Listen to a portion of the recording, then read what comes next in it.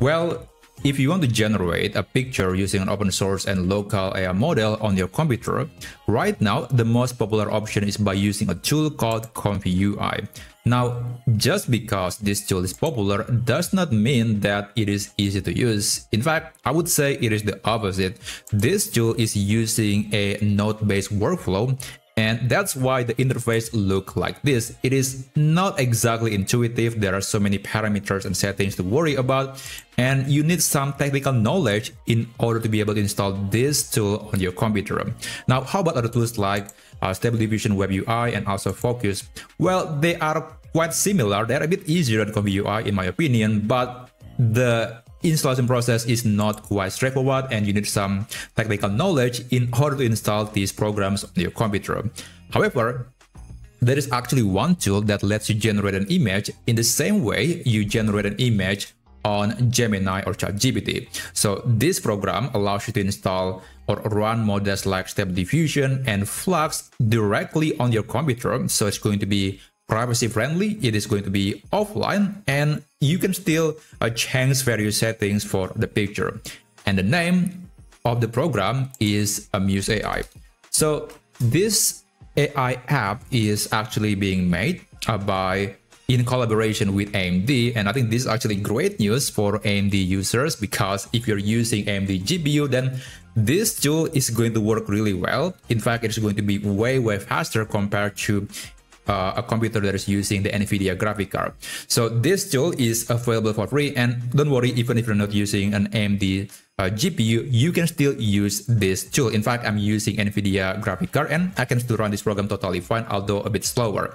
So uh, it is available for free and I don't understand why this is not, not very popular, even though it is actually a lot easier to install, much easier to use than Comfy UI or uh, Automatic 1111. So I would say this is my recommendation for anyone who wants to generate a picture using an open source and local AI model.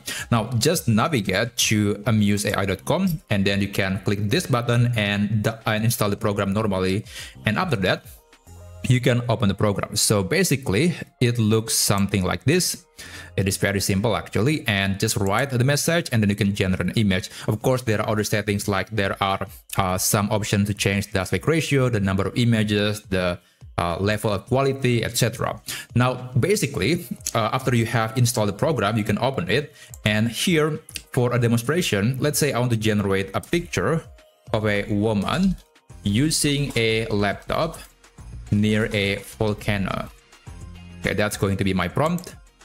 And let's select image and the number of uh, image is just one. Now you can actually generate up to eight or 10 images, but I think for the initial try, the initial image creation, just use one uh, just to make sure that your computer is able to handle that.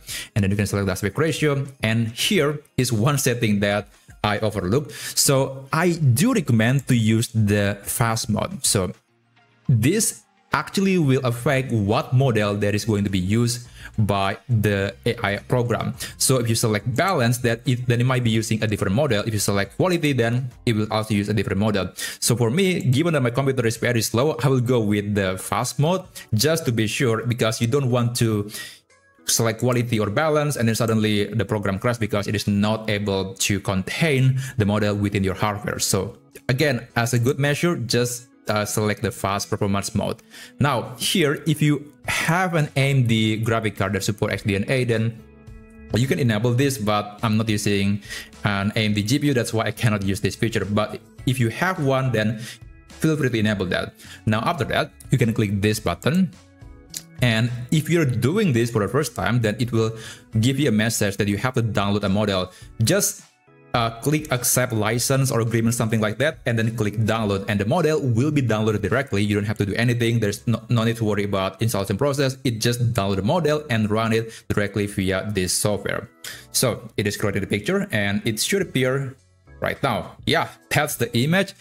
And yeah, it is decent, although I'm using a model that is very, very small. It is only 3.8 gigabytes due to my hardware limitation, but I would say the image is quite decent. And of course, if you want to save it to your computer, you can click this button and that's about it. So if you want to create images again, just change the prompt and then you can specify aspect ratio, number of images, and then click this button again. Now, actually this AI tool has other features like there is AR filters, design where you can convert a sketch into a picture. There is also the expert mode. If you want to change or fine tune certain settings, then this tool can do that. Although that would be a topic for another time. Right now, what you need to know is this is, in my opinion, is the best and the easiest AI tool to run an open source AI model on your computer without the hassle of technicalities and installation process. So that's basically it. Thank you so much for watching and I'll see you on my next video. I wish you a great day ahead.